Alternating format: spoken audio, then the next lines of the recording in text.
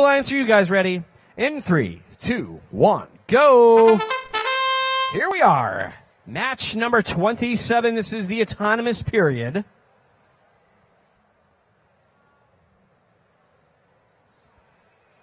Nice long toss right there by Paradigm. Well done.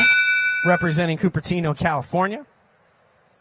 Each side counting stars and cubes.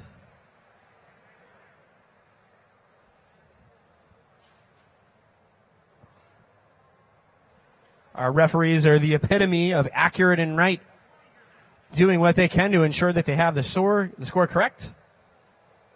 Blue with your autonomous bonus in three, two, one, go.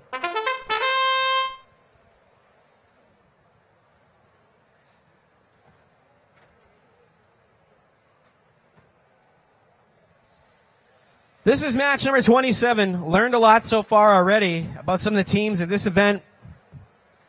A lot of teams are holding on to cubes and stars towards the end of matches to ensure that their opponents do not have an opportunity to toss them back over the fence.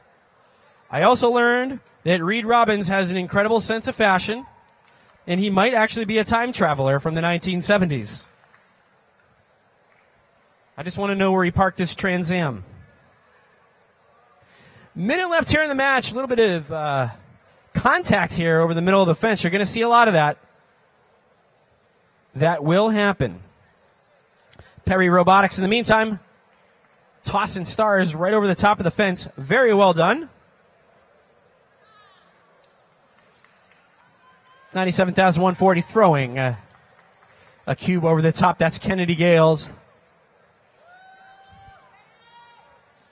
Red working really well together here to clear out the field. Blue, however, did take your autonomous bonus, and they're charging back here pretty quickly.